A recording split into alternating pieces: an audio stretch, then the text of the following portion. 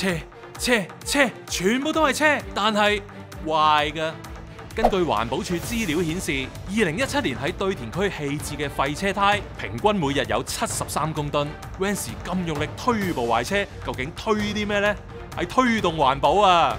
跟住一連三集，Vans 同 DBS 一齊走訪三間綠色社企，挑戰唔同難度嘅任務。第一集係汽車零件升級再造。我咁大個女呢，載人就載得多啦，但係入車房做嘢就真係未試過。今次就響應 DBS 嘅 Live Greener 環保主題，放車過嚟啦！我而家要揾嗰個電油泵啊，好大嘅挑戰啊！攞到呢個電油泵啊，师傅！一、二、三，一、二、三。作為一個專業嘅汽車維修員，隨身帶俾一個電炮呢，係好合理嘅。啊，好重啊！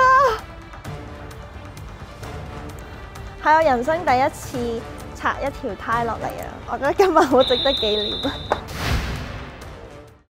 連細細粒嘅螺絲咧，都有佢特別嘅用途嘅喎。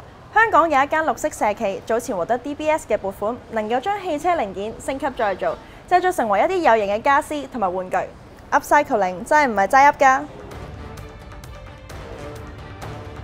ATP Auto Art 好着重一個嘅價值，汽車零件收咗翻嚟，我哋就會去分類拆解、去油、去污、去鏽，再做 protect，咁就準備成為新一件嘅藝術品啦。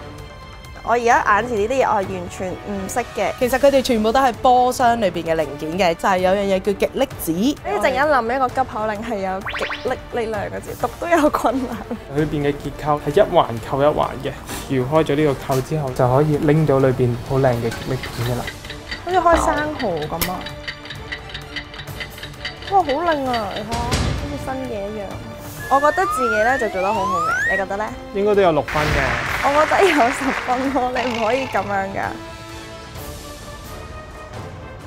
我哋希望 GoMac 呢個環保動力玩具，去幫助咧推動環保，幫助推動教育，俾唔同大眾去學習點樣可以配合新科技，去做到一啲咧屬於自己嘅玩具。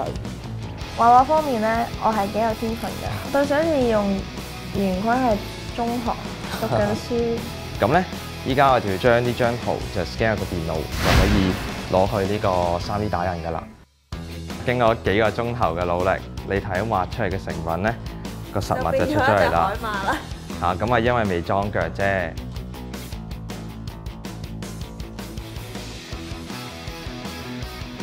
預備啊！係嘛？